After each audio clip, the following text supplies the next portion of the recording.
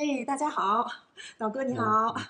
大家好，又到了你给我看七哥的时间了。今天呢，我们还是请导哥呢跟我们聊一聊国内外最近的一些灭共的进展。当然呢，还有大家最关心的郭先生的近况、燕萍女士的近况，还有联盟的一些近况。那其实导哥刚才片头的这三个哈，我们看到有这个啊，都是英文媒体的报道，有美国的，甚至还有印度的。其实我们知道，刚刚在最近的这个金砖会议上呢，其实习近平是想这个拉拢这个啊金砖国的这些国家，包括印度啊、巴西。但是我看这个印度的这个报道也是跟全球的英文媒媒体呢，他们都都发现了，现在习近平呢和中共处于一个内外交困，就无论无论是内政还是外交呢，都陷入一个困境。那就是导哥，就是像这个的话，我觉得是就是最近就是这一两个月，我发现很多的主流的媒体哈都在报道这方面的。那您刚才看了这三个片头的这些啊英文的媒体报道，有什么感觉？就像我们上次说的，一个是嗯。中共国内的这个中国梦，习近平的中国梦，跟国外的这个中国梦，国际国际这个媒体这个中国梦都破裂了。是吧？所以说，这内外交困，内部外部基本上对中国、对中共、对共产党、对习近平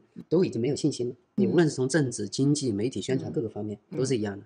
你而且你越来越多的过去可能在媒体上面还被掩盖遮盖的一些信息，到今天也都出来了。过去我们看到很多媒体不愿意提及大外宣，不愿意提及共产党在海外的这些渗呃渗透，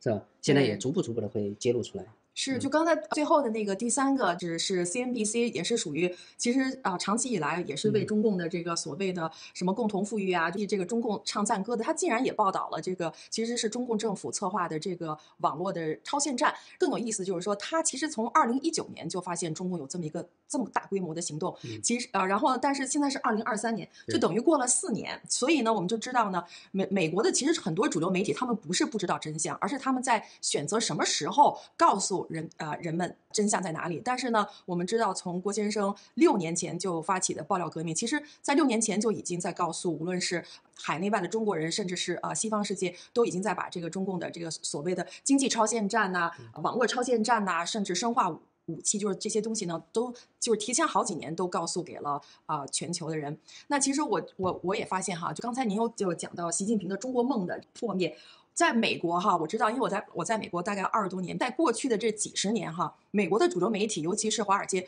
都是在这个吹捧着这个，就是叫做中国梦啊，呃，好像你要不去这个中共国投资啊，好像就错失了一个一辈子都我都不可能有的这最好的一个金矿的投金矿的这个机会。但是呢，我们看到现在美国的很多主流媒媒体，包括英国的呢，都在报道习近平这个中国梦的破灭。下面一个呢，就是我给大家看一下，这是八月三十一日在《金融时报》的这个报道的，啊。这个呢，就是说，在八月份呢，发现呢，这个外国投资者呢，在抛售中共国的股票，而且呢，是创下这个历史的新高。八月份一个月，西方人把他们手里的中共国的这个股票抛售，就高达一百二十四亿美元，这是八月份的数字。国际金融机构的首席的这个经济学家，其实像这种机构以前都是呃说这这中共国怎么怎么好，但是他竟然下出这个结论，就投资者撤离中共呢，是因为中共这个日益严重的独裁主义。所以您上周就讲的习近平的中中共国中国梦的这破破灭呢，现在我们看到很多的主流媒体也都在报道。对，但是真正的发生的，或者说在背后在撤资也好，或者说在彻底的移开，或者甚至部分的卖掉，你就像这个过去我们看到的李嘉诚啊，还有很多的，我今天在很多网络上也看到有一些那个企小的企业主。小的民营企业家都在抛售，甚至你看到就是不是说实力很强的这些小企业，他们都已经在甩卖。嗯，一百万的说买了一百万的车子，三十万就卖掉了。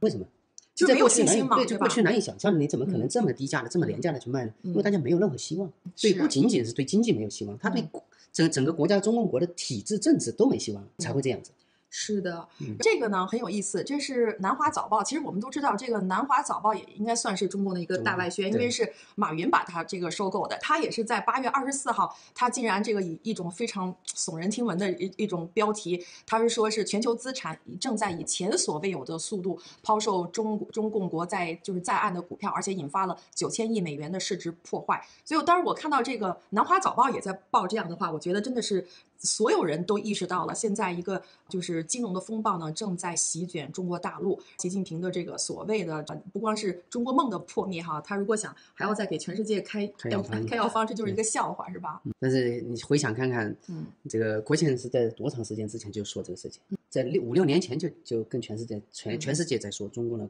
经济、政治、企业、房地产、银行会崩塌。嗯，到今天有多少人付出了这个代价？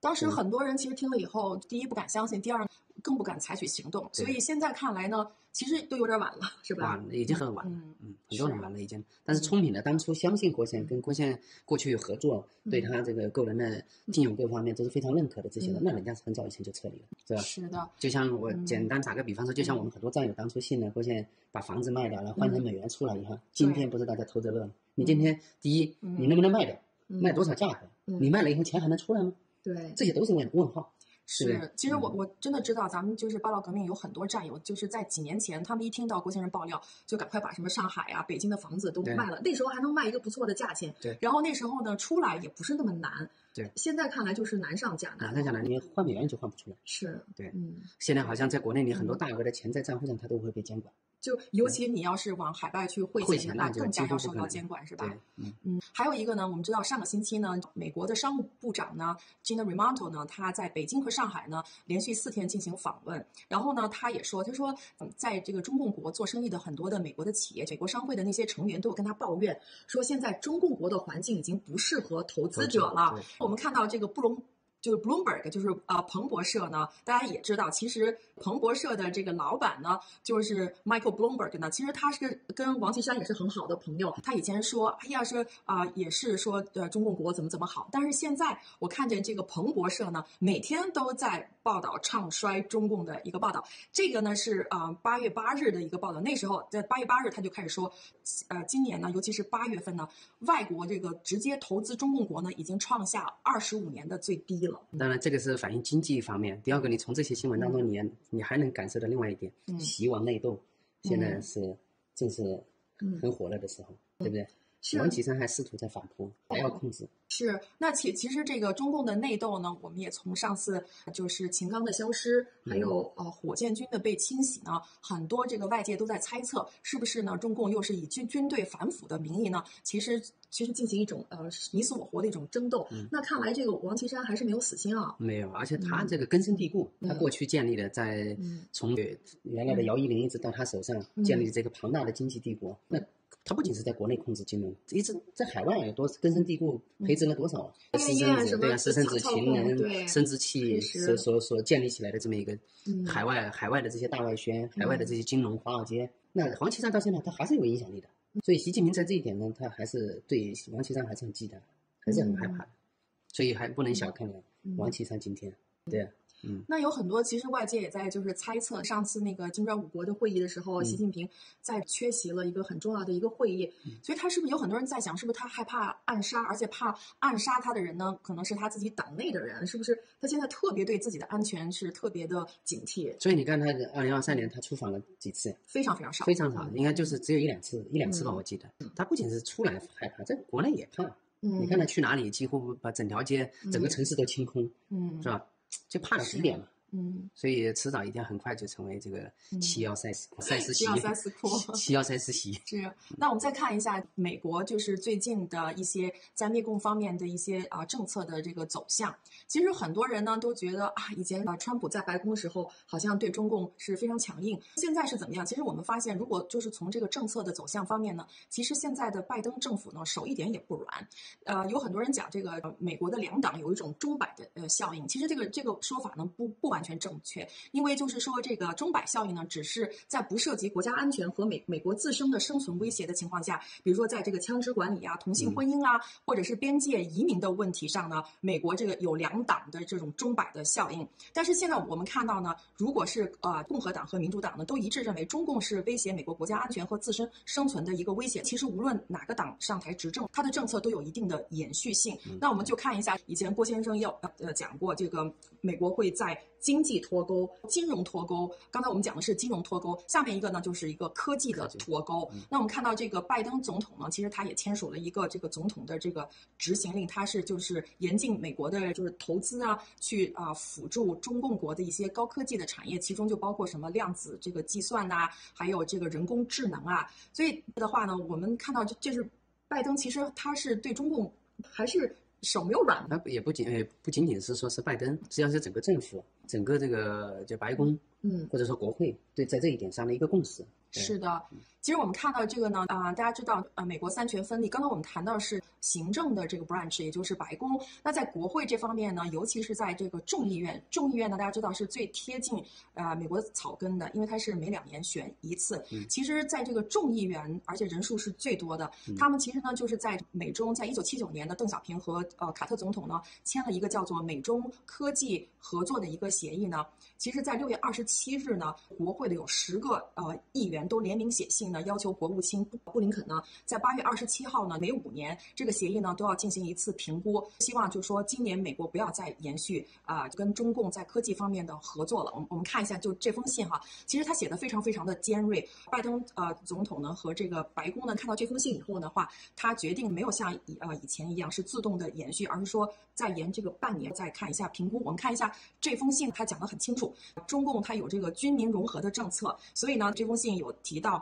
呃，美国的海洋和大气管理局和中共气象局合作开发的这个气球，后来被用作这个中共用这个气球去监视美国的这个军事基地，然后还有这个跟啊、美国农业部呢跟中共的农业部合作的一个什么卫星和无人机，其实将来也会被用作中共去啊、发展它的这个军队的现代化，对美国的这个国防会造成很大的威胁。所以您看，就这封信，看来美国人终于醒了，虽然虽然写的有点晚啊，这也只能说呃刚刚开始吧，嗯还远远不够。对共产党在这个西方国家，还有利用过去几十年的在经济合作各方面、政治啊、教育、科技各方面的合作嗯。当中来渗透、来这个剽窃、嗯。偷窃啊，在长长时间的这个经营在这一块，所以说没那么容易。这只是刚刚第一步，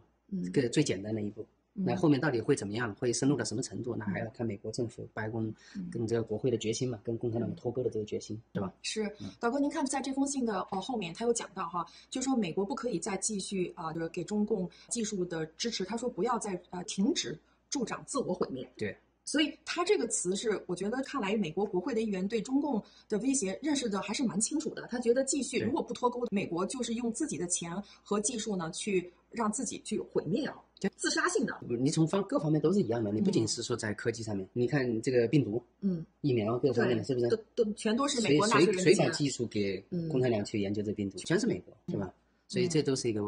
这是今天如果说他们能意识到这些，从各方面都是一样的一个原理。嗯嗯，是，所以您看一下，其实他这个签名是有十个，都是非常重量级的国会议员，而且他们很呃大部分呢都是国会就是新成立的啊、一个叫针对中共的一个一个委员会他们的工作每天就是想着怎么样去灭共，怎么样就是从呃立法和政策方面呢去保护美国的国家啊、安全，所以我看到就是这封信还是起到了一个正面的呃嗯效果哈。但是我们还是希望他们越早能认意识到，就是跟新动联邦合作，能更有利于、更加快灭共的这个步伐。我们是最希望能越早能看到越好。其实我看到有很多啊、议员在接受媒体采访或者在做国会听众的时候，他们的很多的这个谈的一些中共的威胁，其实是来自于爆料革命的。比如他有讲啊、美国的这个养老金啊、被用于这个投资这个中共。其实我们知道以前就是在前几年有一个当威会，是郭先生第一次告诉这个当威会的这个成员呢，你们知不知道你们这个联邦政府官员，甚至国会议员，甚至美国这个海陆空三军的这些这些人的养老金。被用来资资助解放军的军事的现代化，所以呢，还有当当然，现在很多人都是呃，在这个中共和不代表中国人民这方面分得很清楚。我看他们在在媒啊、媒体上都不再用中共来代表中国人。对所以希望越来越多的人，越来越多的这个国会议员，越来越多的民间媒体这些团体能都意识到，不管说跟不跟新动联盟合作，但是早一点越早认识的共产党对全世界的危害，对美国的危害，嗯那这都是有利于灭，对吧？是，其实您刚才就是呃讲到，就是我这些呢，让我想起二三月份的时候，您带着这个战友去国会山。其实我觉得我们当时大概见了五六十个，可能还不止，那不止不止。其实他们对新中国联邦是很了解的，而且对我们的这个灭共的理念呀、包括您当时给他们的议员送的一些我们关于啊灭共的一些报告，他们都是很认真的看的。对嗯，那我们非常有信心，迟早有一天，而且很快，包括从国会到民嗯间，对新中国联邦的认可指日可待，因为这是大势所趋嘛，对吧？是，嗯就像刚才那新闻节目里面，嗯明明是针对彭老革命、针对郭宪的大外宣的宣传，他们也不会提，但未来一定会提，是吧？未来会越来越多的媒体、越来越多的政客、越来越多的这种嗯民间的组织也好，嗯都会提，因为实实在在，你你我们过去做的所有的事情它是都是可查的、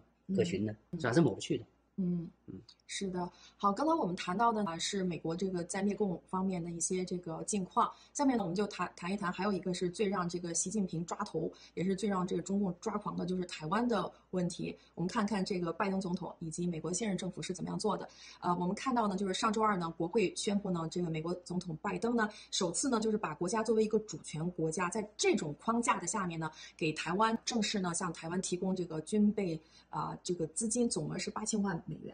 所以呢，我看到在媒体报道的时候啊，特别强调，其实这个拨款呢，它的这个框架呢，是把台湾作为一个主权国家来做的，所以我们看到金额不大，但政治意义很大。是的，而且我相信这接下来不仅仅是美国，美国会力度越来越大，对对台湾的这个无论是经济、军事各方面的支持，技技术方面，还有一个对它一个保护。其他包括美国之外，欧洲的国家、亚洲的国家、东南亚的很多国家一定都会加入进来。嗯，因为台湾。就是在这么一个地方不大，它的政治意义很大，是什么呢？它就是西方文明世界跟中共的集权世界，它的一个交一个斗争，一个战斗，嗯，在这个地方。对对，而且我们知道，呃，在台湾的两千三百万呢，其实它跟我们在大陆的华人呢是同根同源，我们有共同的祖先，共同的文字啊，还有呢，还有我们以前的传统文化是一样的，只不过后来呃，中共国经过这个文化大革命三反五反，很多的传统的文化和价值观被中共给毁灭了。所以我知道呢，其实很多人大陆人第一次去到台湾的时候，觉得很亲切，觉得就那边的人情味儿啊，风土人情跟我们中国人其实重视家庭啊，都是很啊，对，呃，让我们。有一种久违的亲切感吧。好，下面一个呢，我们再谈一谈刚才美国在政策这个方面，还有在台湾的这方面，还有呢，就是在媒体的啊方面啊，我们还看到呢，最近呢，美国国会的议员呢，他们也是就是去美国的这个中西部呢，并不是两岸那种大城市，他们去明尼苏啊呃呃 Minnesota，还有 Iowa 这个。爱荷华州呢，就是美国的一个农业州，土豆啊，什么就是，然后啊，Minnesota 呢是农业的，他们也是就是召开了圆桌会议。我看到很多媒体都有报道，就是美国的工人和农民都在参加圆桌会议的讨论。讨论呢，他们在在过去的几十年哈，他们的这个就是经营的，无论是农业啊，还是啊就是重工业的这个呃制造业呢，怎么样受到这个中共的这种侵略，让他们呃失去了工作也好啊，或者是失呃失去了这个产业发展的机会。所以我觉得现在。国会是不是就是在美国制造很多的民意？现在都倒跑到那种很偏远的地区，让美国的农民和工人也加入列共的这个呃圆桌的会议。所以我觉得这个很有意思的。但是它不仅仅是说这个政府它需要民意，而是说它实实在在共产党对美国这些国家，它确实是从最根本的这些底层有就有影响。你不仅仅是说这个土豆，或者说你像买农田，对，这不就是普通农民的田嘛，对不对？对这个中很多的老百姓，美国普通人失业，嗯，还有芬太尼对年轻人的这个伤害，它不是说政府啊，它都是普通老百姓家的孩子，普通老百姓的田，普通老百姓的工作机会，是的，是吧？它就跟已经是影响到很严重的地步了，所以迟早有一天，它从从下到上，从从两两边两岸到中间，从南到北都是一样，嗯。是的，所以就像您啊讲的，其实那个中共对美国的危害不光是国家安全，还有民生问题。那我们看到呢，明年是美国二零二四年的总统大选。那我们看到就是在啊前几天，美国那个共和党这个竞选人有一个，他们就是谈到哈，其实每一个人他们都被呃问到，你觉得美国现在面临的最大问题是什么？不约而同就是说民生的问题，就是经济的问题。那美国的经济是被谁拖垮的？那就是中共嘛。嗯。所以我觉得现在就是说，美国无论从这个民意啊，还是政府啊，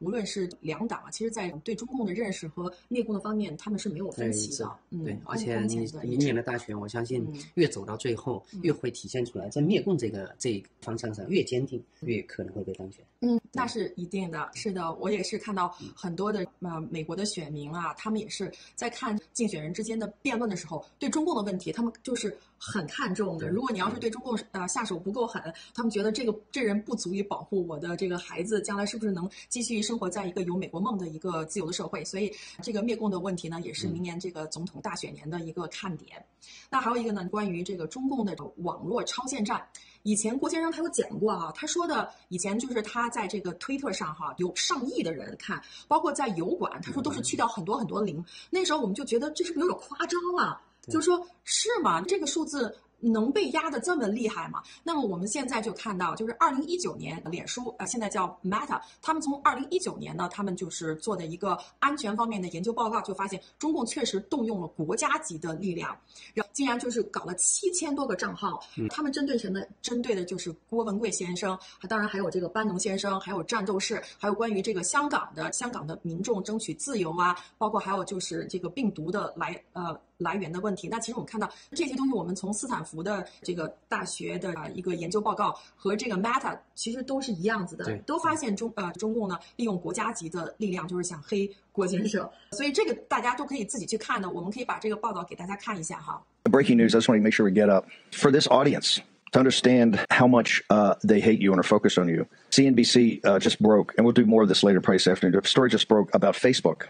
Meta. The largest disinformation campaign in history on Facebook was just broken up by uh, Facebook internal security. The Chinese Communist Party, with a massive disinformation campaign targeted at two people in one show Stephen K. Bannon, Miles Guo and the War Room. Massive disinformation campaign uh, to try to thwart our takedown of the Chinese Communist Party. Well, that's not going to work, obviously, but we're glad they're paying attention. We tell you every day there's tons of Chinese intelligence assets and officers that watch this show and break it down. Uh, we'll get into more of that. 好，谢谢农业呃红叶农场啊。其实这个小视频呢，在推特上一天之内呢，就有一百三十万人。嗯。 观看观看量，然后点赞转转发都是上万的。那其实刚才我们看到这个 CNBC 它的报道里面，它还是没有提这个这个中共网军针对的这两个人是啊，第一个就是郭襄，然后还有班农先生，还有战斗士。嗯，所以的话，我们再给大家看一个二零一九年的啊一个关于中共网军针对郭先生的一个就是黑客的一个报道。啊，这个是一个 PDF 的文件，请导播给打出来给大家看一下。这个报道呢，它也是就是呃，中共呢是用国家的力量，而且呢，它是针对郭先生在推特、在啊油管，尤其是在脸书是这方面。其实我们看到现在就是砸锅和黑锅的这种啊这种在网络上的一直都没少。那其其实其实我们都这个一点儿。一点也不奇怪，因为这是中共国家级的一个一个力量的。其实他这个报道只能说是冰山一角吧。嗯，因为你知道，这个中共国对爆料革命、对新农联邦、对这个灭共的群体、灭共的人士，他的攻击可是立体。嗯，他不是说通过一个通过一个几千个账号在推特上面来攻击你，或者说宣传你的负面报。嗯，他是他是立体式的。你比如说像这个黑客，嗯，他动用这些黑客来黑客我们的这个这个账号，黑客我们的网站，嗯，黑客这个。呃，修改郭倩的，或者说我们过去很多直播的这个数据，然后关注量，你像现在不不不仅仅是这个郭倩的账号，你像那个郭美的账号，那个到到现在还是只有一万多人。哦，那个就几乎没变。对，那个修改。对对，几乎没变，就还是那么。你想他的账号怎么可能就只只有一万多人关注？然后很多的这个我们联盟的这些账号都是一样，都被控制。嗯。那你再可再看看，比如说像曼哈顿那个一个警察局，嗯，那那那那那些人的工作是干什么的？那就是监控这个，就是针对爆料革命。说呃，说到这个这个呃，纽约和曼哈顿的，就是上次节目我们提到那个安全钟嘛，他是山东同乡会的，现在被美国政府呢指控为这个啊，为中共当这个外国代理人。话呢，这个人他也是啊，就上次您有爆料，他还跟踪过您是吧？对他主要就是针对爆料革命，针对郭先，对，嗯。所以你想想，他是立体式的，它不是说只是以一种方式。嗯，你你我们再看这些网络上大家可能经常会关注的这些伪类欺民者，嗯，他不不仅就那几个，你黄河边啊，还有那那几不是那几个，那有很多账号跟着，几百几千几万个账号在跟着。嗯，你说过来革命动了他们什么什么难道啊？这是骗了谁呀？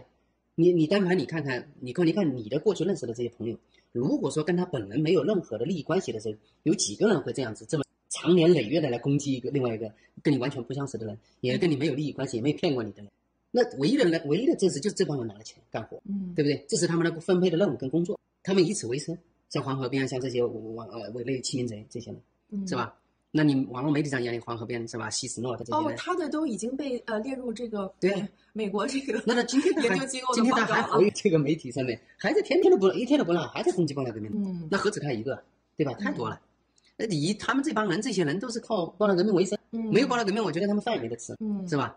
是啊，所以我看就是这份报道，他他会讲到这个中共啊，他这个是啊，这个在社交媒体上搞的这种网络战呢，它是全方位的。然后竟然把这个这些我们大家熟悉的人都在这个里哈。对啊，你像那个黑客过去也是对老的 GTV 黑客、啊、郭 media 还有。对盖特啊，嗯。包括像金日，嗯。我记得有一天，也应该是就今年年初的有一天，嗯。光一个小时，共产党发动的这黑客对金日就上亿，上亿啊。对，上亿次的黑客，这为什么这么？嗯。你金日只是发布了一些文章，只是发布了一些呃有关灭共的这些文，嗯。他们就害怕到这种程度。嗯，所以我的问题就是说，如果郭先生和爆料革命呢不是中共的敌人的话，那中共为什么要花这么大的力气啊、呃去呃抹黑他，甚至就是把让他就是在社交媒体上就是晋升呢？对，嗯如果像委内宣呃宣过早期宣传的什么郭先是跟是跟中共是有关联的，嗯那何必中共还要动用这些力量，对吧？所以这些都是宣，他们都是拿着任务去去造谣、去抹黑。嗯，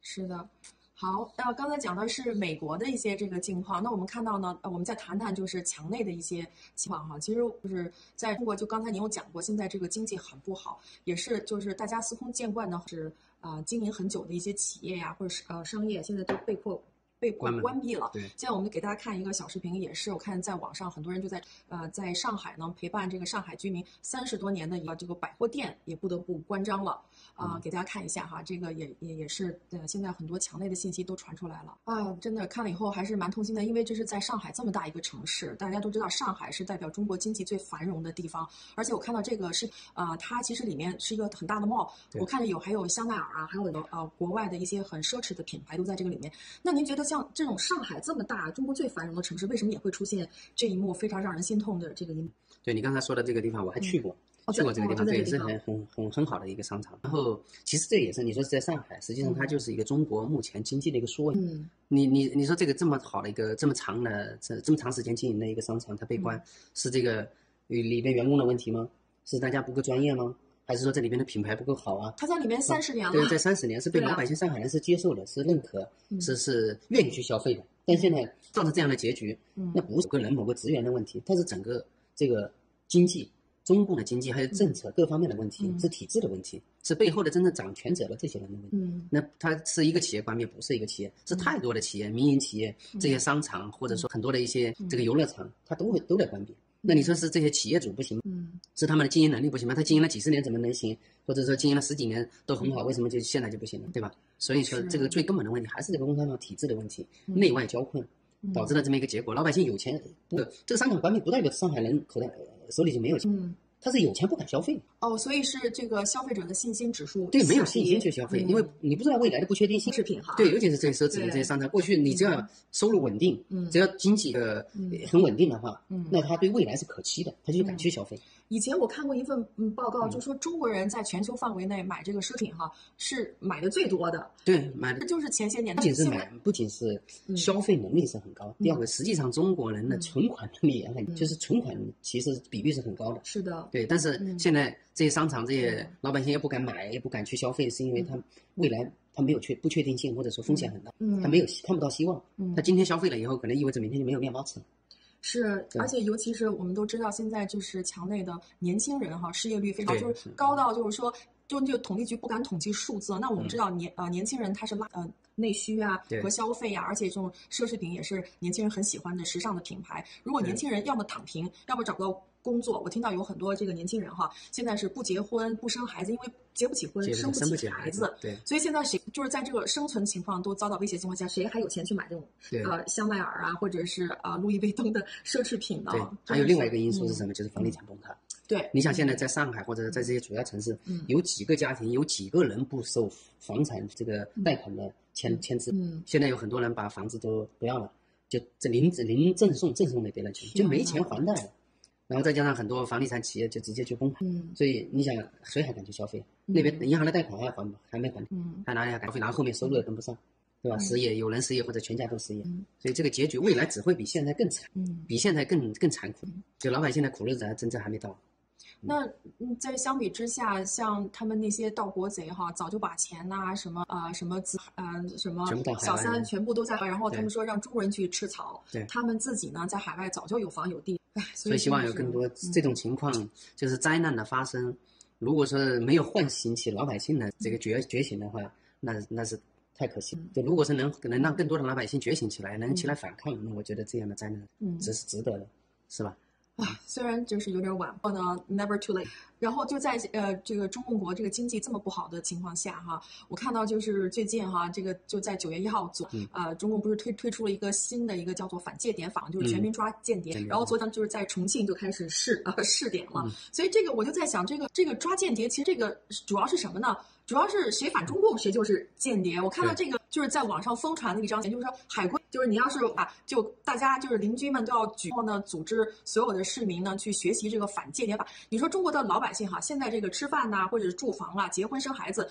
都生不起，也结不起婚。就现在就为什么要去学这个间谍法，还要去报告海归回来的人呢？您看这个有什么感触吗？这个实际上就是回到了几十年以前也是一样的，嗯，连父母都举报，连亲属啊、朋友都要举报，嗯，更是你那会儿，比如说几十年前的时候，你要家里有一个什么美国的亲戚或者台湾的亲戚的时候，那你都是对象，嗯，都是被举报的对象，都是被盯着的对象，对象。现在是一样，嗯，现在比如说这些报了革命的在人要回去，你就是小那个留学生。嗯，就过去在海外的小粉红的留学生，你现在回去试试看，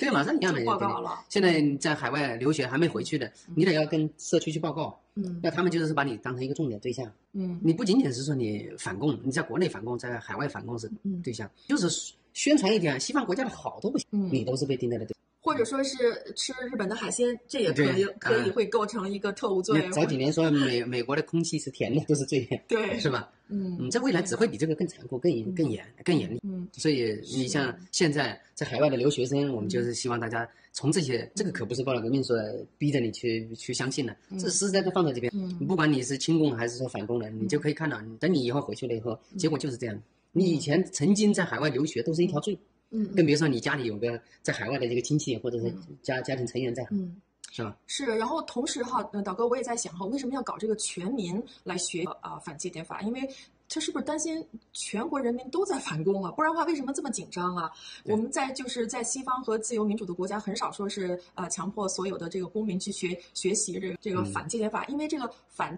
反间谍呢是国家情报机构他们的工作，这个跟一般的老百姓有什么关系？那现在看来，这个中共就是做做的这个，就让人不禁想到，他是不是很内很内需啊？嗯，就拉仇恨，利用这种民族的这种自尊心也好，然后你像那个海鲜，日本的海这个对排排那个福岛。就是排这个排水是吧？处理水，就利用这些东西来形成对立。这就是中国这个共产党希望你的，就每天都是宣传，然后让你内斗，然后挑起这个民族的民族民族仇恨，挑起跟海外的这个仇恨，让你没有其他时间去思考民主，你知道吗？没有时间让你去思考文明是什么样的，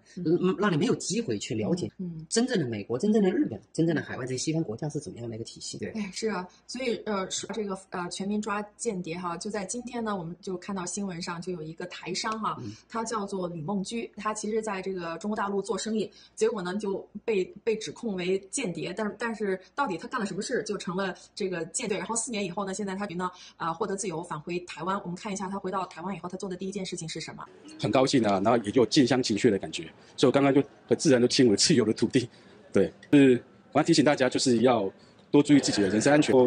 然后我觉得我也要给中国大陆政府一句话了：爱、和平、包容、沟通，这是这件事就顺其自然吧。我最关心的还是我的家人，我要赶快跟我家人见面。其他他们什么什么威胁啊，或者他们在想什么，这已经不是我的事情。我已经踏上自由的土地了，已经在呼吸自由的空气，他也管不到我了。这样子，那也要提醒大家，一定要好好守护自己脚下这块自由的土地。他们尤其他们现在反间谍法实施，任何一个人都可能变成他们所谓心里所谓的间谍。比如说我的例子就是，我就是这两份卡片就变成台谍这样子。可以给大家给我的国人同胞做一个借鉴，像我就是一不小心自由就失去了。我想告诉大家，自由就像空气一样，只有你在自省的时候才会觉得自由的可贵，才会珍惜它这样子。哇，刚刚看到他是怎么样被指控为间谍，我觉得有点像黑色幽默，有点太可笑了。对，那么但是一点在中国大陆现在或者过去那可不可笑，就是因为这简单的一句话。一个行为可能就给你定了一个罪，嗯，甚至你连定罪的机会都没有就消失了。是，那嗯，其实我们上周也谈谈到有一个台商，就他也是在中国大陆做生意很多年，而且听说其实他一开始对郭先生和对对爆料革命还有一些误解，但是我相信更多的这个台商呢，他自己通过亲身在中国国的体验，他会他会知道这啊，就是一百多万的台商在中国大陆，其实我觉得买的都是一个教训。嗯，对，是。好，下面一个呢，我们还看还还有看到这个习近平，他真是内政外交陷入一个窘境，通过实话呢，他来巩固自己的政权呢，那就是洗脑。我们看到这个呃，中共国在又推出一个叫做爱国主义教育的一个一个叫做我管它叫做洗脑的这个这个法哈。而且呢，最可笑的是什么啊，导哥，他要把这个这个洗的这个爱国主义呢教育推广到呃澳门啊，就香港、台湾还有海外华人。我就说我们现在在海外的这些呃呃中国人啊，好不容易。逃离了这个魔爪，然后呢，如果再接受他这个爱国主义的教育的话，很可能就像美国加州的那两个年轻的这个中国人，他们在海军服役，他也是觉得哦，我这是爱国啊，我这是给祖国就是拍两张相片，拿个五千块钱啊，祖国还给，然后回去以后可能这个呃锦衣玉食，那不是就这种东西，不是把海外华人都给害了吗？嗯，一定是这样的。所以现在，咱们这个反宣传有多重要，就要把共产党、共产党的这些做这些事情，这些宣传也好，媒体也好，这些类的在海外的这渗透也好，要让更多的人看到，看到的这个本质。你这样子才能真正帮到在未来在极端的情况下，对海外华人的一个保护。就让海外的这个其他国家政府也好，民间老百姓也好，让他们知道咱们这些人跟共产党是不一样的，跟他们跟抓到的这些中共安排的这些间谍是不一样。嗯，是的。好，刚才说了这么多这个墙内外的情况，我们还是回到大家最关心的。每次这个节目呢，就是墙内外呢，就是有很多的战友，还有支持爆料革命人，最想知道就是郭先生的情况，还有就是燕萍女士的这个呃情况。那先说郭先生的情况，我们看到昨天哈，就是郭美有发了一个盖文，我们知道每次郭美呢都是有跟大就是啊分享他去看到郭先生的这个情况，我们跟大家先分享一下郭美的这个盖盖文。嗯，一般两个星期一次，他们不就看他？对对，这个郭美的盖文给大家看一下。好。就是说，嗯，郭美有讲到，每一次他都看到郭先生的精神状态都是非常好的，而且在这时候，呃，郭先生想着战友，他觉得就是他对战友的这个描述，我觉得跟以前又有所不同。以前他在歌歌曲里面是用这个凤青黄，用这种来表达他跟战友之间的这种呃感情。那现在就看到说是感受到战友对他的思念呢和问候和爱呢，就像黑夜里那道钻石和太阳一样的光，就是。您是属于跟随郭先生，算是跟的特别早的，而且一直呢就是跟郭小这个接触比较多。您对这个这句话有什么感触？看到这句话以后，嗯，觉得呢也是很就讲的很真实，就可能也可能说，如果说不是很早以前去接触爆料革命，或者说跟郭先有有相识的话，可能不一定有那么深的。像我们跟的时间比较长，然后有而且经常又会见面的时候，就会更能理解他跟郭先呃跟这个战友之间对这个。感情跟战友的这种关系，对战友的这种包容，嗯，那是真真实实的，而不是说很多我们看到这个呃墙内的也好，墙外的也好，很多都是表面的虚假的，它是很真实的。你包括就像他在，呃，我了解到，你像在这个 MDC 跟里边的人、跟警察或者跟其他人，他他的交往都是很真实的。为什么大家都喜欢他？嗯，不是说因为他有钱，嗯，是吧？你再有钱，你在那个地方，而且他现在都已经申请破产了，你在你在那个地方还有什么可可言呢？但是他就是用这种真诚去打动别人。就让人家别人从内心去尊重你，嗯，不仅仅是因为咱们。国跟着国家去干这么一个伟大的事情，而是说人家真正呢佩服他的、尊重他的，他是他的一个人格的魅力。是的，假如说以前有很多人啊，就是说，哎呀，因为郭先生他以前很有钱嘛，啊，亿万富翁，所以很多人就跟随他，是不是因为利益？但是现现在我们看到郭先生申请破产了，然后呢，他又在经历这一场就是以前人生中从来没有经历过的一一种磨难。他在监狱里面跟他说，来自这个文化生活背景完全不就不一样的这些狱友哈，其实都是呃跟郭先生。接触以后，我们知道他都是非常喜欢这个人，对他是一种人性上的一种相通。我觉得就这一点也是很多人选择跟随郭先生的一个重要的，对吧？对，那肯定是不你到哪里。不管就是一个人，他有人格魅力，有这个魄力，其实到哪里做什么都都能展现出来，嗯，到哪里都受欢迎，是吧？就像我们生活当中有有少有一些人是一样的，不肯定不是大的，就有一些人就到哪里都都会能结识很多的朋友，到哪里都能建立一个团队，到哪里做什么事情都能做好，是一样的道理。嗯，那国家更是比觉得更多的人有更多的这个优势，更多的优点，让别人能感受到，而且最关键的他是真诚。嗯，他他不会去骗人，他不会去欺，不是不是不是说不欺骗战友，他普通人他也不欺骗，他也是真诚。嗯，那你知道这个人用人人和人之间他用真诚真心去交往的时候，没有人不愿意去交往。嗯。是的，那呃，最近我看到就是说，就这两天哈，有很多的法庭的文件。那啊，其中最重要的，大家很关注的就是郭先生的首席律师，就是刑事案的律师呢，叫 Sid 呢，他在八月三十日呢，啊，南区法院呢发了一个动议。然后这个里面其实我看了一下哈，其实他去 challenge 了郭先生在过去这个破产案当中的这个法庭做了很多他认为是违反郭先生宪法赋予权利的一些啊一个事事情。我们给大家就看一下这个啊这个法庭文件里面大概的内内容。总之呢，就这个法庭文件呢是啊，写说能是破产案那边呢要暂停。因为他说，如果不啊，他的这个破产案的这个程序呢，已经是啊威胁到郭先生的很多的权利，其中有包括呢他的这个第五修正案是自我保护的权利，还有一个那个 Brady 的。就是获得就是试罪的这个证据的权利，同时呢，对他就是在刑事案的这就这方面呢，会会造成很多的侵权行为。这个这个法庭文件就指出呢，在破产案的这个程序当中呢，Look 呢其实跟这个呃政府这方面已经开始合作了。其实这是两个不同的案件哈，啊，所以呢，我们就就看一下这个文件呢，我给大家看一下，就是把一些呃重点给划出来哈。首先呢，他一开始就讲到呢是有两个，就是这个我们看这个这个第一页，他就讲到呢。郭先生呢，就是作为刑事案中的被告呢，他享受两个最重要的权利，一个呢就是他不可以自己认罪哈，对吧？呃，就是说他有这个 Brady 的权利，就是说获得让他自己能够试罪的这么一个证据。呃，下面就讲到在破产案的程序，当然这个 Trustee 呢，他做的很多事就是已经违反了郭先生的这两个权利。然后尤其是讲到这个对 Mava 基地的处理哈，他有讲到这个啊，就是剥夺了，因为郭先生的呃律师呢，就是有讲到这个 Mava 的基地呢，在刑事案中呢是一个是它属于。刑事案的，然后现在刑事案这边还没开始庭审，嗯，那边就已经把它给处理了。而且处理的过程呢，是这个 trustee 呢是用了这个 FBI 在三月十五日去搜查的这些相片儿啊，这个 trustee 呢也把他自己呢这个啊 Mawa 呢把他的结论呢告诉给了然后政府就同意了，然后他们就开始把这个事情就处了，然后很快就要收哈。所以呢，这个里面就是讲到呢，政府和 trustee 呢一直都在后面有有互相的联手哈，对付郭先生。然后呢，其实这个行为呢已经是就是阻碍了郭先生为自己就是辩护的一个公的这个权利。嗯，那导哥就说您看了这个呃文件以后。我突然就觉得以以前的破产案有很多是就是被这个现在的律师是认为侵权行为啊。实际上，你看从这个报告，我我看这报告，这个报告是呃这个动议是里边的内容是非常强，然后当然也体现出来我们新的这个郭先生新的律师团队，嗯，敏锐，对敏锐比过去的这个团队。他的这个能力、实力各方面是完全不一样。第二个就是，实际上你他提到的很多的论据，我们可以说，你比如说十八楼，嗯，你比如说那个基地，嗯，呃，郭靖的这个刑事案里面，它都是一个一个，也这里边的一些，你说是证据也好，或者标的也好，或者是什么，你你都是在刑事案里面是一个是一个这么一个呃呃，你说他是这个，他说是一个对，是一个证据，有利的证。据。你你不能法庭已已经在处理，已经在做决定，已经在在在做了，那你到底是以哪个为准？嗯，对吧？然后这个呃呃，律师还而且你看，还有一个十八楼，你看，十八楼被烧火火烧了，所以这个原这个这个原因都还没搞清，没搞清楚。你现在十八楼你要收走，你要卖，你要干什么？你你在干嘛呢？对不对？我相信现在的这个律师，他们他看得很清楚，是吧？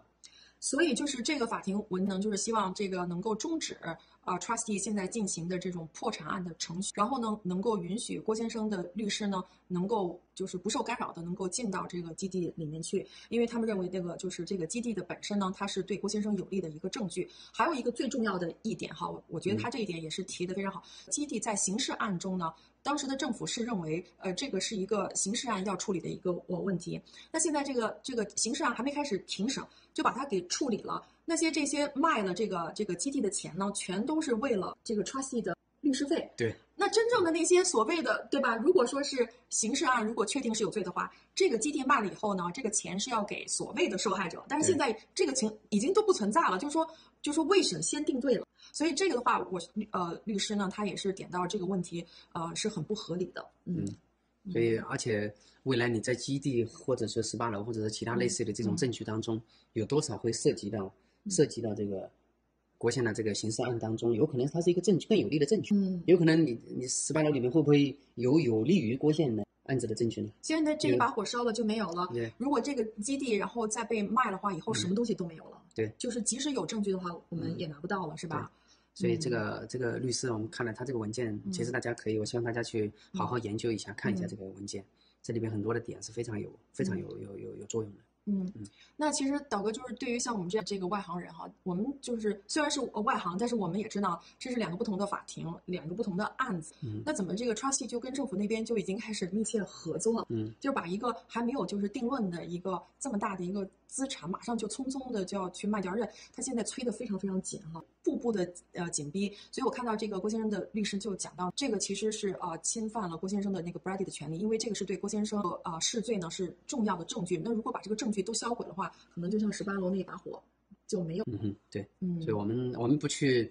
猜测为什么这个 trustee 跟政府会私下里背后去去去勾兑，但是我相信律师团肯定是意识到这些问题，未来也会 challenge 它的合合法性，对吧？这我想对这个过去发生的事情对国宪不利，但是这个事情揭露出来对国宪是有利的。嗯嗯，是。那还有一个就是这个呃，律师在文件中提到呢，就是说那个 S E 那个案件，呃，政府就知道要暂停，对，但是为什么这个呢就没有暂停？而且不但没有暂停呢，政府还他说叫 selectively，就是有选择性的去支持他，去帮助他。所以这些问题也是很耐人寻味。你看，你看那个一个时间点，三幺五那一天，嗯，郭先从十八楼被带被带，中午被带走，下午 trustee 就进去了。嗯，也不仅仅这个，其实我们看到，你看那个，包括这个，我听我听说上次你像郭美去到那个法法庭做 deposition 的时候，嗯，我我听说连律师都是很很迟才知道这个时间，但是委内都准时到庭了。我们都不知道，委内的委内都准时到庭，所以这些事情的背后的发生，这些一定会被揭露。为什么委内？为什么西史诺那么准时，那么那个那么准确的到庭呢？嗯，是吧？嗯，是。还有一个呢，我就看到，就是郭先生呃律师呢，在这个法庭文件里面，嗯，他还有提到，就是说之前的那个破产案的这个 trustee 呢，他侵犯了郭先生的这个 privilege，就是郭先生和他自己以前的很多的律师呢，这个呃客户和呃代理律师之间有一种啊，就是互相信任，所以他这个很多的机密的信息，他是他是他的律师是是知道的。但是后来呢，这个 trustee 呢，他给这个郭先生之前的啊多个律师呢有发传票，他们就呃让郭先生的这些律师呢就是传票来质证，所以呢郭先生的律师呢认为这个已经破坏了郭先生的和他的律师之间的就是那就是他的一个 privilege 一个特权，因为这些律师你说被质证的时候，他要说的话等于是泄露了他跟郭先生之间呃享受法律保护的一种特权的信息，但是现在都被 Look 给拿去啊，郭先生的律师还讲，不但是拿去了以后呢，这个 Look 呢，他现在跟政府之间还有一个幕后的合作的关系，他。所以他的刑事案这边就没法打了，因为还没开始辩护呢，很多他就是政府还不不应该知道的信息，现在都被陆克都已经给给递交上去了。这个我觉得是以前我们从来没有想到。所以随着时间往后推移啊，就很多事情都会出来，都会都会揭露出来。嗯，当然这个都是很有有利的，有利的方面，就是我们回头我相信律师团他会去审视每一个点，每一个事情的发生，是不是这里边有很多的这个程序上面的不公正，是吧？是，那那看来其实他提的这些呃问题呢，都是程序上的问题。因为我看到啊，这个 C 的律师呢，他有讲到说，在这个破产法庭当中哈，是说有很多做的决定其实是没有保护郭先生的权利。对。然后呢，还有就是政府这边呢，他选择把这个三幺五的那些相片提供给呢，他们也是置郭先生啊，就是呃权利于不顾。所以我看到这个律师真的是站在这个客户的这个。而且你你说的这个项目，我我们还发现一个问题，你就像在破产法院把那个。郭美还有这个不不是郭美，这个当时家庭里面是什么照片？像那些照片都是私人相片，私人的信息很隐蔽的，而且这个呃，trustee 肯定是知道他们很很注重这些信息的这方面的，但他们都是先发出去，然后后面才发一个动议出来说啊，我们这个东西是要掩盖，是要保护的。那这个错误它有 accountability，就是肯定会要被追溯的这些信息，对吧？而且你看，这个首先是委内在发布的这些信息，就是说后来就是就是把郭先生的就是家人的这个。相片给放放出来，其实是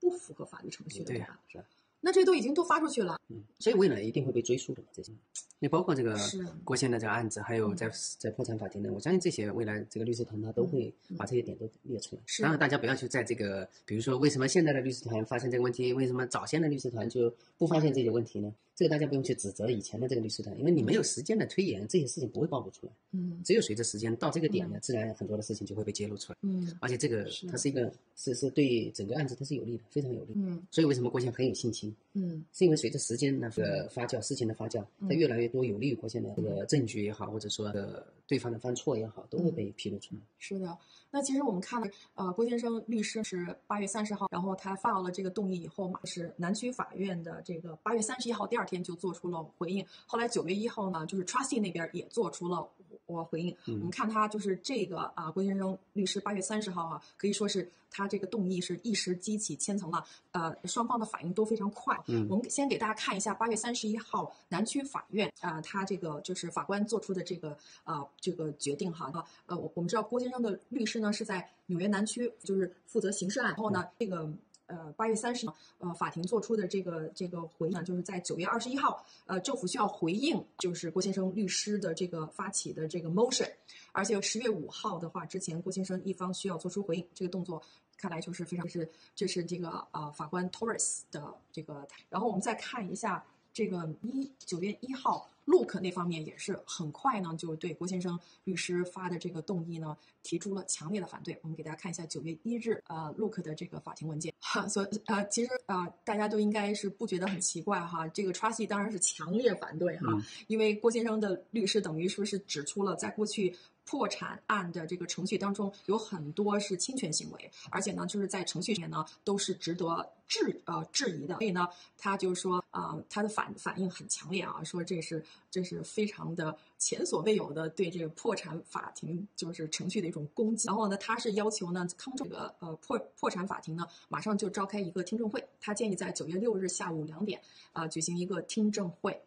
所以，呃，导哥，我我现在有一个技技术问题哈，因为郭先生的律师呢，他是在纽约南区法院负责这个刑事案，他在那边去发啊、呃、motion，但是呢，这个 trustee 呢，他是在这个康州的破产法院，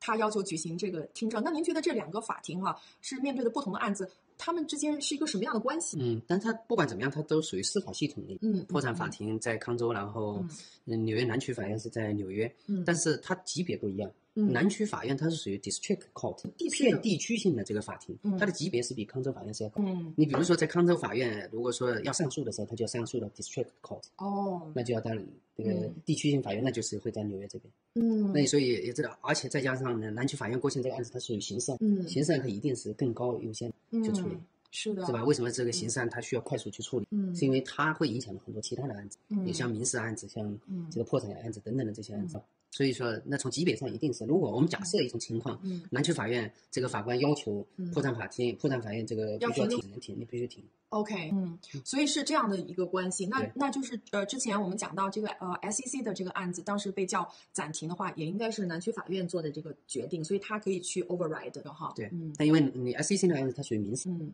明白。对，这个是形式。嗯，哇，那那看来这个是很就是我们现在这个案情，我觉得很有看很有看头啊，对，很有看头一定是，就大家如果说全程跟踪的时候我们过去从来没有经历过这个，对我们来说都是一个学习，都是一个嗯一个财富。所以大家，我过去郭县希望我们这以法灭共，这个法以法灭共怎么去以法，嗯这些都是以法灭共的一部分，大家要去经历，要去学习，要去了解，是吧？都是一个财富。嗯我们呃过去不曾经历，以后这个等这个案子结束以后，我是我我我相信我们也没机会去经历了一个这么庞大的这么一个案子，嗯。是吧？是，其实我的 trustee 呢，他就是表达了一种，他说呃不想就是在跟南区法院那边去，因为他如果去那边这要是去交涉的话，又会是产生很多的费用。他说这里面还有很多的费用呢，嗯、所以我们下一步看怎么样的话，我们就拭目以待。嗯，下面还有嗯。郭先生的那个律师团队又啊、加入了两个新的律师，我们给大家看一下哈，这也是九月一号的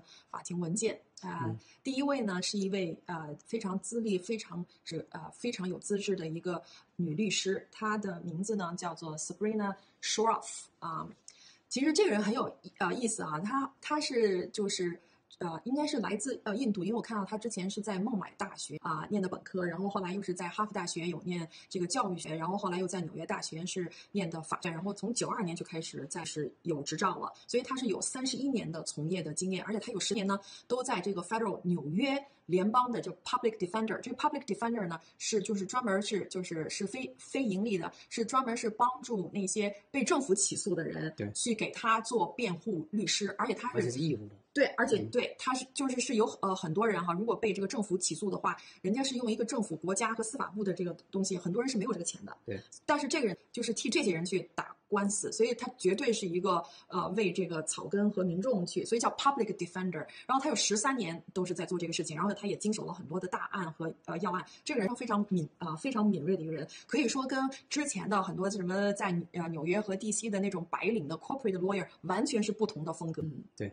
嗯，是，所以我们啊呃呃期待这个律师呢，是不是跟以前的这个呃 corporate 的这种。lawyer 有不同的风格，我们拭目以待。还有一个就是来自郭先生那个首席律师 Seed，他的律师事务所的一个一个这个年轻的新秀，叫做 John Kilgard，啊，他也是呢，在九月一号呢，他也是正式加入了郭先生的刑事的律师团队。现在看看来，这个郭先生一直他的律师团队不但是换了，而且呢，就是风格跟以前是不一样，而且还在扩大，是吧？对，嗯嗯。尤其是这个前面这个女的律师，我觉得她，你刚才说的很对的，她的过去的经历的风格跟跟之前的不一样，包括跟那个 C 的的不一样。C 的可以说是过去是在体制内，对，体制内的。但是像这个 Spring 它是完全是体制外，它是草根阶层打出来的，是的，草从草根阶层一路杀出来的，对，而且是一个女将，风格完全跟男的也不一样。而且我看了他那些相片儿哈，真的是英姿飒爽，呃，就主要他的背景是不一样，就像刚才导哥您说的很。贴切，一个是呃官衙门的，还有一个是私营，是纽约和 D.C. 那种白领的。像他是完全是从草根打出来的，所以他的这种啊风格肯定是跟其他的律师是不太呃一样。那我们期待强强联手，看看下面会有什么样的进展。好，还有一个问题呢，就是大家特别关心的关于这个基地哈。呃，刚才这个郭先生的首席律师呢，他很多这个都在谈这个基地。那这个康州破产法庭的话，它啊也有一个法庭的文件是九月一号刚出来的。呃，我们给大家看一下这个。这个文件就是说呢，就是说这个基地的呃扩就是持有人呢啊还没有就是找就还没有把保险给办好，所以呢这是一个说因为这个保险呢还没有办好，所以的话呢现在呢进入基地呢只可以说是就是联邦政府的工作人员呐和这这个法庭的或者是新泽西州的或者是马瓦市的，然后其他人的话都嗯都是安保对啊还有安保对啊，所以它这个主要呢就是说是一个呃没是。保险还没有搞定，后呢，就是说，如呃，之前讲，如果保险有搞定的话，它它其实是有一个二十人，说是除了那些执法和安保人员以外的话，还可以有二十个人就是进去。但是现在因为这个保险的事情，因为可能在很短的时时间内，再说夏天，可能很多保险公司人都去休假去了，可是不是？所以还没有搞搞定。一方面是那个，嗯，第二个就是那个，因为基地很多的一些很多的东西。呃，比较复杂，那么他们去做保险，可能一样样去对，就需要时间啊，各方面也会比较多。第二个价值这一块，他们也要去评估，所以需要更长的时间。这个律师好像在这个法庭里也提交了，就需要更长的时间去处理这个事情。但是另外一个就是，实际上不是咱们在基地的人员，不是说因为这个。破产法庭的文件啊被像委内所改出来的，而是我们其实提前已经撤离出来，就是因为我们自己的律师就要求，在这个律保险没有做好之前，就我们我们的人员先不用去进出去，对，等保险全部做完了以后再再确定。另外一个是基地，刚才我们从这个郭先的呃主打刑事律师那个 C 的这个文件就看出来，这基地是一个证据，嗯，是吧？未来我相信它也是一个焦点，那同时它也是一个灭共的基地，是我们新中国联邦的一个灭共的基地。那未来我相信。不管是律师还是说从咱们这个一个工作的团体来说，我们都会要求提出来要把基地拿回来，因为这是我们用来灭共。是我啊，C 的律师在八月三十号的法庭文件呢，他也有讲过，他说这个基地呢不是郭先生家人的私有的财产，而是新中国联邦的灭共基地，还有一个是为这个 GTV 的会员对以后的发展。然后说这个呢都是要在刑事案中，郭先生要出来是就是为自己去辩护的。对，所以现在问题就是说他还没有来得及去辩护呢，呃，政府就已经选择跟这个 trustee 去和他要匆匆把他给给卖掉，就这证据不能够给卖掉，所以所以呢他们是强烈要求就是暂停啊这个破产的去，然后把基地呢。作为一个证据啊，保留下来，而且是要允许郭先生的律师团队能够进入，而且在不受这个 trustee 的叫做陪同下去，而且呢，他还呃还要求什么呢？要求这个就是 trustee 呢不可以再跟政府有信息往来。然后之前呢，这个 trustee 呢向政府提供过什么信息的话，现在都要披露出来，因为那个他们之间呢就是信息就是这种互通啊，已经是干扰了郭先生在刑事方面的他的公正的一个就是权利，所以之前通过什么信息，现在都要。都要被嗯，这个这个披露，所以我看的就刚才就就是八月三十号的那个 C 的律师的这个法庭文件里面内容非常非常多，而且呃，就是点出了很多这个就是关键的这种呃问题，就是在程序上面有很多值得商榷和探讨的一个问题哈。对，嗯，是好，那下面就是这个基地的最新的进展，然后导哥您觉得还有什？我就刚才呃，其他基地这边对也不会，大家可能很多菜友也看到这些文件。呃，我相信大家也不用去担心说我们这个是不是工作没地方工作啊，直播没地方做啊。大家也看到了，我们从这个上个礼拜到现在，或者说从三幺五到现在，咱们宣传直播各方面没有停，不会有任何影响。嗯这当然，爆料革命的工作也不会有任何影响。嗯就从早期的郭先的一个手机、一艘船或者一个在十八楼就可以掀起的爆料革命，到今天所有的战友都很有经验，嗯对吧？你无论在任何的条件下都可以都可以做这个做工作，做义工也好，或者做直播也好，做这个宣传也好，嗯所以大家不用去担心。更何况我们现在大家都是身经百战，都是有经验。都是有这个个有有这个能力去做好，也有实力去做好这些事情，所以大家大家不用去担心。就像我们今天的直播依然还是一样的，不会受影响一样的。然后另外一个我要补充的就是郭先呢自己本人的最近的一些近况，嗯。从那个郭美的盖特上面，大家也基本上能看到，就这个郭先这个身体状况啊、健康啊，除了像上次我们呃提到了拔了这个三颗牙以后，现在还在恢复当中，因为呃如果你拔过牙，或者说牙有这个治疗过，这个牙牙病还比较慢，恢复比较慢，何况呢一下子拔了三颗牙，所以现在还在恢复当中，嗯呃不能说完全的康复，嗯这个。锻炼还没有恢复，就计划恢复，但是还没有恢复。嗯那现在的绝大部分的时间，实际上都是在跟这个律师对谈这个案子的事情。嗯因为现在这个时候实际上是一个非常忙繁忙的这个时间段，它不仅仅是有关这个这个刑事案南区的这个刑事案，嗯还有这个破产法院的这些案，嗯就很多其他的案子都是在这个时间点。嗯那那些证据你要看看完了以后还要整理，还要去还要去思考，跟律师去讨论。那嗯本身有时候沟通的时候不一定说完全能沟通，还需要翻译，嗯所以这个需需要消耗大量的量时时间，对，嗯所以这一段时间就在这个案子，主要的时间都是在这个案子上面。其他的像呃跟家庭家呃这个家里家庭收小两两个星期一次，每次一个小时，呃，可能不不一定不止一个小时，有可能一个半小时啊，也有可能。嗯但是大部分的时间精力都是在这个案子上面。嗯那前一段时间给这个呃很多的农场主、田区主有打电话，嗯就讲一些这个近况。嗯对，那接下来我可能就没有那么多时间去打电话，一个是打电话的时间是有限的，嗯，第二个就是对对，很多的时间还是要在这个案子上去探讨。还有啊，郭美和七嫂每两周就能去看他们，然后给我给战友们分享更多的信息。嗯那呃，导哥，那刚才郭先生的这些情况我们说了很多啊，艳萍女士，你有什么最新的这个 update 吗？艳萍这边也没有什么特别的情况，实际上她跟郭先生基本是一致的，平行的呃对，基本平行的，因为他们的文件基本上是一样的嘛，嗯。或者说绝大部分文件是一样，嗯，所以说他们他也得要跟他的律师去过这些文件，嗯。过这些这些案这个案子里面挺多的一些所谓的证据啊等等的这一嗯方面。那么其他的生活这一块也基本上没有变化，每天锻炼，这个我我听说每天要锻炼两两到三个小时，哇，这还是强度还是是很大的。嗯。对，然后里边听说现在这个人也比较多，所以嗯。这个呃在在这个学习或者说那个环境也也不会说有多那个，所以嗯。对他来说都都每天生活都是井井有条。所以这一块基本上燕平这边没有什么特别的情况，他也是他是每个礼拜每个礼拜可以跟战友去首秀，礼拜一次啊就像。家人一样对对对对也是对嗯也是，然后他也是每天都呃关注的这个外面发生外面世界发生的这些新闻信息，嗯，呃也包括爆料革命的很多的事情都了解，包括我们做节目等等，对。好的，谢谢导哥。嗯，那啊、我们再说说就是盖特的近况啊，因为我看到就是最近就是有一个报道哈，说盖特因为拖欠那个技术费用大概三百万美元啊，嗯。而且只有这一家报道，所以这个到底是怎么回事啊？那我了解，应该我这个事实不是不是这样，是嗯。所以这个盖特这边，像我看到有委内，甚至有些战友当时一发生这个新闻的时候，也来问我是不是盖特要关，是不是是不是盖特欠了很多钱等等的这一方面。嗯。其实本质上不是的，据我了解，就是嗯。它实际上是一个原先的一个供应商，嗯。供应商有这个签合同的供应商，呃，但是这家供应商应该是在交付了一个这么一个项目的时候延期了。哦。那个有可能我我记得大概是，呃，应该是在定制二零二二年六月份，本身这个项目要交付，但是没有交付，一直到今年的二月份才交付。所以就他们就是 delay 他们的对他们 service，他们呢 delay 了，给盖特提供了这个 service。嗯那那你延迟了这么长时间，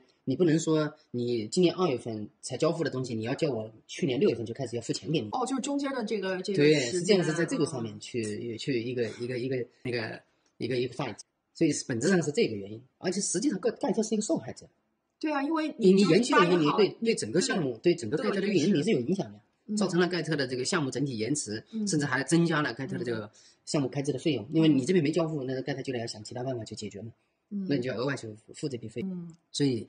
主要是因为这个原因，但是他们发起了这么一个诉讼，希望盖特要付这笔钱，那不不合理的嘛？嗯大家想想也不合理，你没有交付，你怎么去、嗯怎么去怎么去支付给你钱呢？嗯。呃，所以在这个地方，我我看到好像盖特也有在媒体上面也要发一些嗯。矫正的这个信息，把这些真实的信息反映出去。第二个，我也听说盖特可能对这家公司也会反诉他们，嗯，因为是他们造成了盖特的这个损失或者影响，或者整体这个项目被被影响到那个增加费用。嗯所以主要是这个，所以大家不用去担心盖特会会什么关停或者欠了多少，根本不根本不存在的这个事情，所以大家不要去误导。伟类好像很激动，想着这停了要被关停，根本不是，对，根本不是这么回事。OK，所以呃，听起来这就是属于一个商业的纠纷，就是供应商没有按时交付他们答应好，就是合同里面签好的他们要提供的服务，然后推推延这么多，然后让盖特自己要去找，然后他还要说这段我没有 deliver 服务，但是你还要交这钱，对，所以现在就是这就是这么。而且后来还发生了，我听说后来还发生了在在五月份还是六月份，突然性把盖特的这个服务给切停掉了。